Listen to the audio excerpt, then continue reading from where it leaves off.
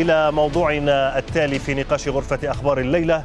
لا يزال جدل الدفاع عن العلمانية ومبادئ الجمهورية يتصاعد داخل فرنسا مع بدء تنفيذ قرار جديد بحظر ارتداء العباءة في المدارس وتأييد القضاء الإداري الفرنسي لهذا القرار الذي يأتي بعد قرار مماثل لمنع الحجاب في هذه المؤسسات باعتباره يشكل علامة على الانتماء الديني. وفي أول يوم دراسي أعيدت عشرات الفتيات إلى منازلهن بسبب رفضهن الالتزام بمنع ارتداء العباءة في خطوة أثارت ترحيبا من اليمين الفرنسي وتحفظا من اليسار وانتقادا من الهيئات الإسلامية والتي اعتبرت أن قرار الحظر تعسفي فعلى أي أساس يتم تقييم ملابس الفتيات في مدارس فرنسا؟ وماذا عن تداعيات قرار الحظر في المجتمع الفرنسي بمختلف مكوناته؟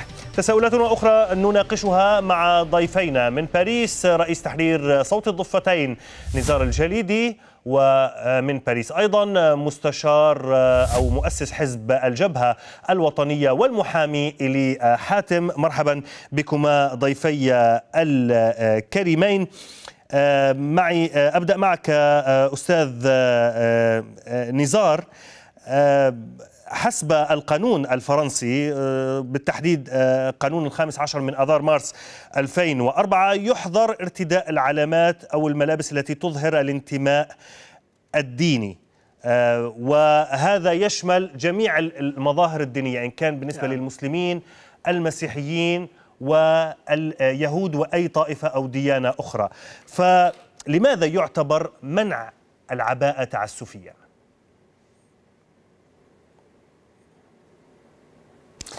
أهلا وسهلا اولا هي سقطة من سقطات الدولة العلمانية الجديدة التي تريد أن تذهب بالأزمات الحقيقية للشعب الفرنسي نحو جدال عقيم ليس له لا أساس ولا راس. لأن العباءة ليست اولا لا لباس ديني هي لباس تقليدي وليس أصلا لا موجود لا في الدين الإسلامي ولا في غير أخرى الدنيا الديانات. فقط هذه المسألة هي سياسية بامتياز. فرنسا كان لها معركة حقيقية مع الحجاب ولكنها انطلقت سنة 1989 ليأتي قانون سنة 2004 أربعة ولكن العباءة في اعتقادي ولست أنا من الذي سيدافع عن الدولة الإسلامية أو الدولة الدينية. أنا من أكثر العلمانيين وما أكثر المدافعين عن العلمانية ولكن أجد بأن هذا القانون قانون تعسفي على الحقوق الفردية للأشخاص لأنه هذا يعتبر تمييز ويعتبر ردع للحقوق العامة للناس باعتبار أن هذا اللباس ليس له تصنيف لا في أي كتاب قرآني ولا في أي كتاب ديني هذا. أولا هذا لباس تقليدي أولا مستوحى من الشرق. كان اليوم بفرنسا طيب. التي تريد الآن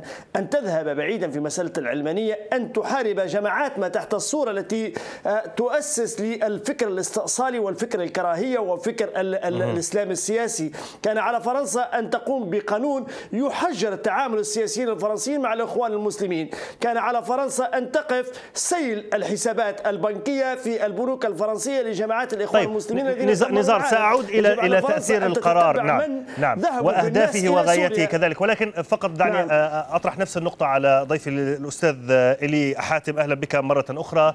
الأستاذ نزار كما يقول ويقول آخرون أن العباءة هي لباس تقليدي ليست لباس ديني يعني لا يعبر عن عن دين معين. فبالتالي يمكن لمسلمة أن ترتدي ويمكن لغير المسلمة كذلك أن ترتدي عباءة. هو زي تقليدي كما يقول ضيفي وآخرون. ما رأيك؟ وبالتالي قرار منعه في المدارس هو ما هو إلا قرار تعسفي. تحياتي لك والى الأستاذ نزار وإلى جميع المشاهدين.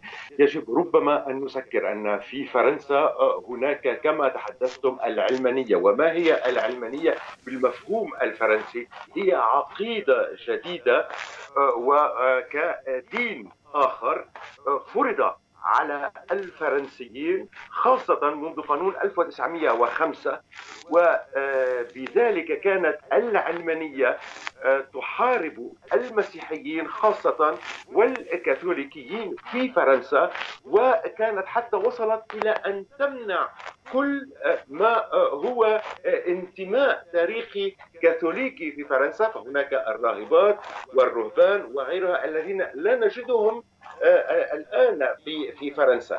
هذه من الناحية الفلسفية أو من الناحية السوسيولوجية والفلسفية عامة. ولكن من الناحية القانونية آه، كما آه، قال الأستاذ آه، نزار أن هناك قرارات وهناك قانون وهناك الآن أيضا حكم تم من المحكمة الإدارية. العليا نعتبرها المحكمة الإدارية العليا أو محكمة الدولة محكمة نعم. شورى الدولة وما صدر في هذا القرار أن طريقة ارتداء هذه الملابس في الأجواء حاليا تعتبر بأنها آه، آه، ثياب يعتبر بأنه زي دين واستنادا إلى قانون 2004 يعتبر ذلك ممنوعا وأعطت الحق لوزير التربية في فرنسا بمنع ارتداء هذه العباية لأن طريقة آه، لبسها آه، تعبر عن ليس ثقافة ولكن تعبر عن آه، انتماء إلى دين بطريقة واضحة لأن قانون 2004 لا يمنع للبعض ارتداء أو حمل مثلا حجاب صغير مخفي في الجيبة أو صليب للمسيحيين ولكن يجب أن يكون لا يكون يعبر كثيرا عن الانتماء.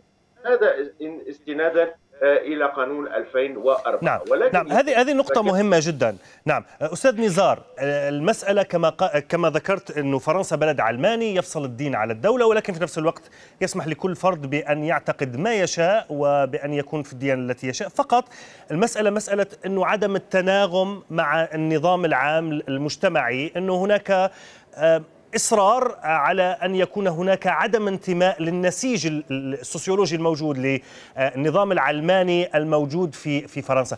هل هذا هو السبب؟ ألا يعتبر هذا منطقيا قليلا في مسألة سبب المنع وتأييد المنع من قبل المحكمة العليا في فرنسا؟ نعم. في الحقيقة في الحقيقة ما وقع هو خلط الأمر السياسي بالأمر القضائي وهذه مهزلة من المهازل الجديدة التي تعيشها فرنسا التي تعيش على وقع صراعات سياسية خاطئة جدا ومراهقة جدا وهرطقة سياسية كبيرة جدا. ثق سيدي بأن هذه المسألة هي فقط مسألة سياسية جرعة سياسية يراد من خلالها الآن فقط التوقيت الذي وقع في هذا القرار. هو ساعة فقط قبل أن ينطق السيد ماكرون بمسألة النيجر وعدم سحب السفير. جاء جابرييل أتال الذي هو جديد لوزارة التربية لا يعرف عن كواليسها نعم. ولا يعرف ولكن ما علاقة الأمرين كيف يستفيد الرئيس ماكرون قرار في بداية سنة كيف يستفيد الر... هل وضحت للمشاهد آه، أستاذ نزار كيف يستفيد ماكرون من آه، جدلية نعم. آه، عدم نعم. ارتداء العباءة في المدارس الفرنسية نعم. مع أزمة النيجر ما العلاقة؟ نعم نعم السيد ماكرون السيد, السيد ماكرون الآن يختلق كل الأزمات السياسية في البلد وربما سنرى أزمات أخرى لأنه يعرف بأن هناك خريف اجتماعي قاسي وشتاء اجتماعي قاسي قادم جدا. الآن الفرنسيون سيخرجون إلى الشوارع للمطالبة أولا بالتراجع في السياسة الخارجية لفرنسا في الحرب الأوكرانية. سيخرجون في التراجع على المسألة الأفريقية. سيخرجون لغلاء المعيشة. سيخرجون لنقصان الطاقة. لذلك هذه الحكومة أصبحت يمينية أكثر من اليمين نفسه اليمين المتطرف نفسه.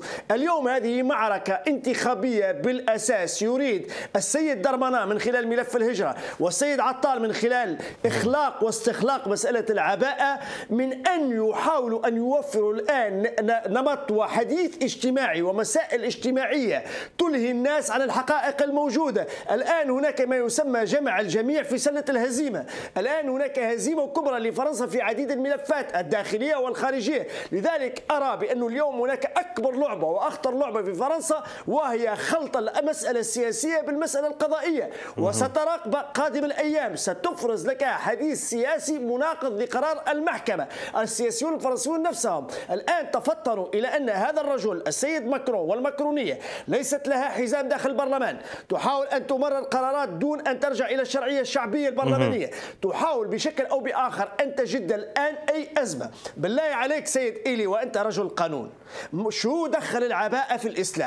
في نص في القرآن وأنا سأصبح الآن المدافع الأكبر عن القرآن. في نص يتحدث عن العباءة. ما كانت العباءة زمن يثرب ولا قريش. ما كانت العباءة زمن الرسول. ولكن اليوم عندما نقول بأن هذا القانون يسمح ببعض الأشياء ولا يسمح ببعض الأشياء أقول للسيد إيلي وأقول لكل جمع الطيف السياسي في فرنسا هل قانون العلمانية سيطبق بأن لا يذهب رجال السياسة الفرنسيين إلى الأئمة الجوامع والجمعيات الإسلاموية لحصد الشعبية لدى الانتخابات وتعرف من أقصد من أحزاب اليسار واليمين التي ذهبت طيب. إلى الإسلام طيب. السياسي سيد إيلي سيد إيلي هل يمكن أن ترد على على هذه النقطة؟ يعني هل الهدف من قرار منع العباءة في المدارس الفرنسية هو آه، لأغراض مكاسب سياسية ومغازلة اليمين؟ للأسف آه، هذا هو صحيح آه، من الناحية السياسية. ولكن لا يجب أن ننسى أن آه، استعمال هذا الواقع وتسييسه من قبل السياسيين ومن قبل الحكومة يستند إلى واقع في فرنسا. وهناك كما قام كان يقوله السيد عمر لبان منذ أكثر من 30 عاما. كانت هناك سياسة هجرة في فرنسا دون أن تكون لفرنسا المعطيات لجذب هؤلاء المهاجرين والأجانب والفعل منهم فرنسيين أي اندماجهم في المجتمع الفرنسي وللأسف قانون العلمانية في فرنسا كان متوجه نعم. لمحاربة الهوية الفرنسية التقليدية الفرنسية الكاثوليكية. وهذا أثر على ضياع هذه الصورة في فرنسا. وتبين اليوم أن هناك قسم من الشعب الذي أصبح فرنسي. هؤلاء الفرنسيين نعم. يذهبون يلبسون هذه هذه العبايات أو القميص أو غيرهم فرنسيين مثل الآخرين. ولكنهم لا يقبلوا آه، هذه هذه ممتاز. هذه هذه نقطة هامة كذلك. أستاذ نزار آه، ما رأيك؟ يعني آه، هناك من يضيء أنت اعتبرت في في نقاشنا هذا أن العباءة يعني هي ليست لباسا دينيا هي لباس تقليدي. بمعنى أن هناك شعوب أخرى تأتي إلى فرنسا وتعيش فيها نعم. من بينها نعم. ولديها لباس معين يعني لديها لباس تقليدي مثلا. لدى لدى الجزائريين مثلا من أصول أمازيغية لديهم لباس نعم. مميز. الجالية الهندية مثلا لديها لباس مميز الأفارقة كذلك. ولكن جلابيب الأفغان نعم والأفغان ولكن هؤلاء جميعهم انصهروا في الهوية الفرنسية الموجودة. ما عدا يعني مسألة العباءة والقميص كما يقول الأستاذ إلي أنه لا تتماهى مع الصورة المجتمعية الموجودة لدى فرنسا والرغبة الفرنسية في انصهار جميع المهاجرين في الهوية الفرنسية. آه، ألا ما رأيك في هذا؟ لماذا الإصرار على عدم الانصهار في الهوية الفرنسية يقول لا لا. آه، البعض؟ لا. لا لا هي هو تماهي مع عقلية مكابرة سياسية وتعنت سياسي والبحث عن حطب دائما حطب لإشعال فتير الأزمات السياسية. اليوم الجلابيب الأفغان والجلابيب الهنود في كل الدوائر في باريس على الأقل وفي المدن الكبرى في باريس هي لا تتماهى مع العقلية والذهنية وثقافة اللباس الفرنسي ولكن مع ذلك تقبل. لماذا تقبل؟ لأنها ليست مسلمة. لنكون صريحين مع بعضنا البعض. طيب ولكن الجلباب الأفغاني إسلامي. البسيط لأنه لا يجد من يدافع عليه لأنه فقط وجد ليش ما منعوه حبيبي؟ هاو موجود. ليش ما منعوه؟ موجود في باريس. طيب. ليش ما منعوه؟ خلي خليني أسأل السؤال للأستاذ الي صحيح مفارقه النقاش اوصلنا إلى نقاط يعني تفاصيل مهمة جدا. الناس راح فقط بالله بالله خليني بس تفضل تفضل يلا بسرعة أستاذ ثواني. 10 ثواني بس. أقول لك جملة فقط. هؤلاء هؤلاء ما هؤلاء لم يجدوا مسلمون حقيقيون يدافعون عن الإسلام بل وجدوا مسلمون إرهابيون يدافعون عن إسلام آخر وهم الحصان البسيط الذي يستعملونه في كل مرة. ندائي إلى فرنسا التي أعيش فيها وأؤمن بالجمهورية الفرنسية أن تحارب الإسلام السياسي الذي دمر شمال إفريقيا على الأقل وعندها سنقبل بكل العلمانيه ولكن أن نحارب ان نحارب من خلال لباس تقليدي فهذا تعفن سياسي في الذهنية الفرنسية للأسف. طيب أستاذ الي ما ردك؟ يعني فعلا النقاش شيق. الآن أنه اللباس الهندي مثلا التقليدي أو حتى الجلباب الأفغاني كما يقول ضيفي غير ممنوع في فرنسا ولكن العباءة ممنوعة. كيف يمكن تفسير هذا؟ هذا ما أنا من الناحية القانونية كمحامي وكرجل قانون اطلعت على الحكم الذي صدر من المحكمة الإدارية العليا في فرنسا وهي تقول ولديها لديها تفسير أن طريقة ارتداء هذه العباية يفسر ويشير إلى أن هناك انتماء ديني وطريقة استفزاز.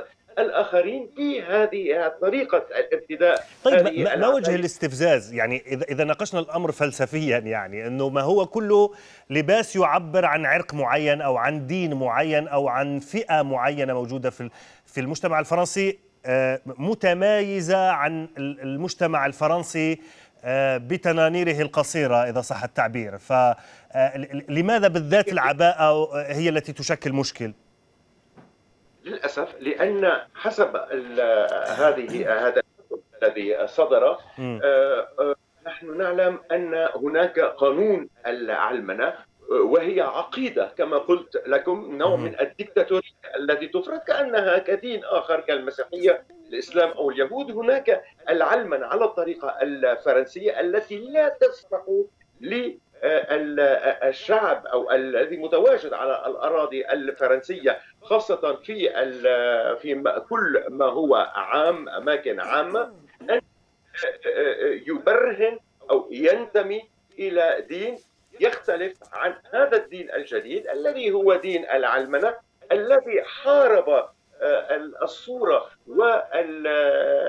والتاريخ والانتماء الفرنسي المسيحي الكاثوليكي وحارب الكنيسة. فمن المستحيل اليوم للجمهورية التي هي انبثقت من هذه من هذه الحرب التي قيمت على على فرنسا على الملكية في فرنسا على الأسس المسيحية الكاثوليكية. وكما نعلم خاصة بعد 1968 قضت على كل ما هي هذه الهوية أن تسمح للدين أن يعود إلى المجتمع الفرنسي، هذا هو المفهوم العلماني الفرنسي وهذا التفسير الذي أعطته المحكمة العليا التي اعتبرت أن طريقة لباس هذا الزي في هذه الأجواء الخاصة يفسر كأنه ارتداء زي ديني أكثر ما هو ثقافي وحضاري. بالطبع هناك مبادئ عليا ولكنني لم أتوكل في هذا الملف. يجب ربما كانت أن تفرض أو تطرح أمام المحكمة وهي حريه العبادات وهذا مبدأ عام يفوق القوانين الفرنسية ويجب أن يحترم استنادا إلى شرعة الأمم المتحدة وأيضا إلى القوانين الأوروبية وخاصة معاهده المعاهدة الأوروبية لحقوق الإنسان والماده الرابعة منه التي تفرض احترام كل الأديان. العلمنة نعم. تحولت لنوع من الدكتاتورية التي لا تسمح للمعتقدات الأخرى أن تظهر في فرنسا طيب. مثل المسيحية نعم. أستاذ نزار. نعم. نعم هنا هناك أيضا كما قال أستاذ إيلي وأيضا هناك من يرى نعم. أنه لماذا يعني هذه الفئة فقط هي التي تصر دائما على هذا التمايز أو هذا يعني عدم الالتزام دعنا نقول بقواعد العلمانية الفرنسية يعني واضح أن هؤلاء يعني من أصول مهاجرة ولكن أتوا إلى بلد هذه قوانينه وهو بلد علماني يفصل نعم. الدين عن الدولة. لماذا دائما هؤل... الإصرار دائما على أستاذ هذا التمايز؟ أستاذ أستاذ.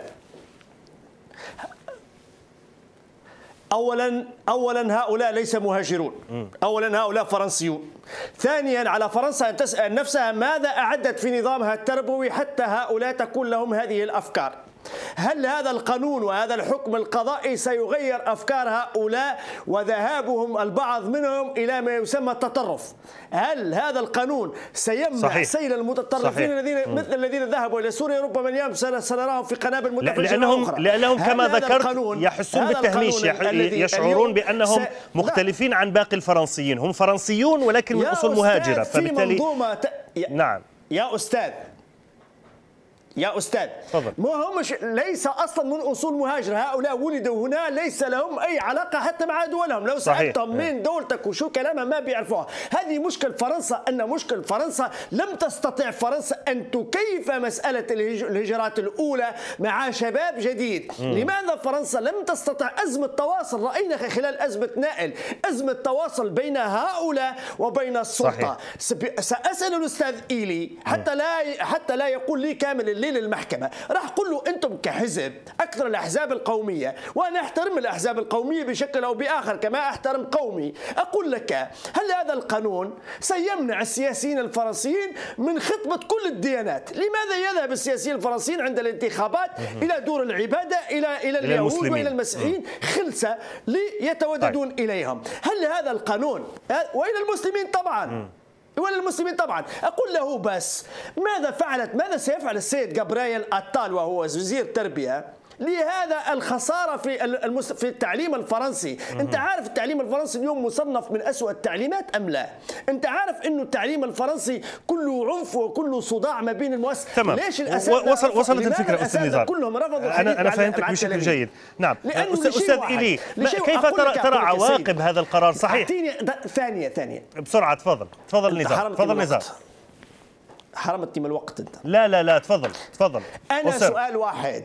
هل عندما ننهزم سياسيا عندما ننهزم سياسيا لا يمكن أن ننفخ في مشكلات ثقافية لأن هذا لن يداوي جراح فرنسا سيد نعم. إيلي. نعم. لن يداوي جراح فرنسا العميق جدا وهي أنها فقدت البوصلة. فهمتك. بشكل جيد.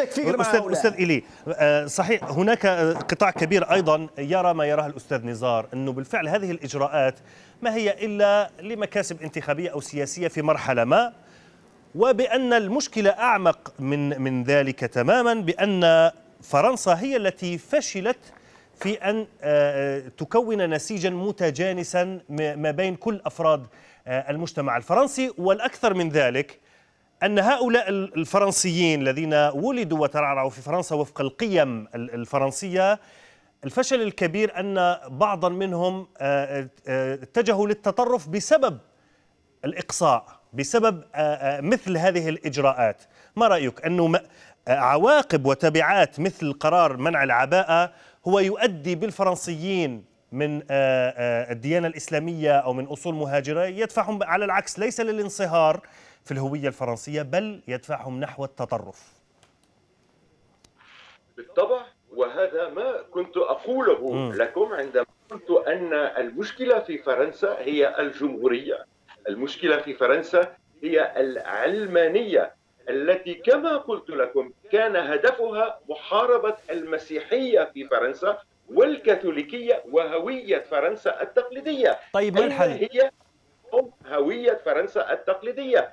أين هناك الرهبان في الشوارع الذي صحيح. كنا نراهم السابق؟ أين هم الراهبات المحجبات؟ منعت في فرنسا. لأنه البلد علماني. طيب نعم ولكن ولكن سيد إلي الآن مع هذا في كل مرة يتجدد آه، نفس نفس الجدل حول قيم العلمانية وبالتحديد مع أي مظاهر آه، مسلمة بشكل مباشر يعني. آه، هل يعني اليوم. هناك إمكانية لتدارك هذا أم لا؟ يعني سيبقى يعني المجتمع الفرنسي يعيش دائما هذه الإشكالية وإلى متى؟ كما قلت هذا اليوم هو الإسلام الذي هو يتعرض أو المسلمين الذين المسلمون الذين يتعرضون آه، إلى آه، آه، هذا الاضطهاد. يجب أن نقول الكلمة كما هي ولكن يجب ننظر بكل موضوعية. قبل ذلك أي قبل عشرين عاما كانت الحرب والاضطهاد موجه للمسيحيين وخاصة الكاثوليكيين. المشكلة اليوم هي تغيير نظرية العلمانية في فرنسا أن تكون العلمانية تفريق الدين عن السياسة شيء ولكن ليس فرض نوع من الدين الجديد نعم. العبادة الجديدة أو المعتقد نعم. الجديد الذي يمحو آه، الانتماءات الشعبية في فرنسا فلذلك أنا كنت مثلا أطالب دائما بعودة فرنسا كدولة فرنسية مسيحية كاثوليكية وبذلك تحترم كل الديانات الأخرى. وحتى الرسومات سابقا التي تعترض مثلا النبي صلى الله عليه وسلم أو في بعض ينتقدون القرآن وغيره إذا كانت فرنسا تحترم الأديان وليس لها مبدأ العلمانية ولكن مبدأ ديني كاثوليكي تحترم الأديان الأخرى مثل كل الدول الأخرى مثلا في إيران هناك احترام للدين المسيحي واليهودي أكثر مما هو متواجد على الأراضي طيب. ربما هذه النقطة التي أوصلتنا إليها تحتاج إلى يعني ساعات طوال من النقاش ولكن للأسف انتهى وقتنا في آه، نقاش هذا الموضوع في غرفة آه، الأخبار آه، أشكركما شكرا جزيلا ضيفي الكريمين من العاصمة الفرنسية باريس مستشار ومؤسس حزب الجبهة الوطنية المحامي إلي حاتم وكذلك من باريس أيضا نزار الجليدي رئيس تحرير صوت الضفتين. شكرا جزيلا لك على المشاركة معنا في غرفة الأخبار.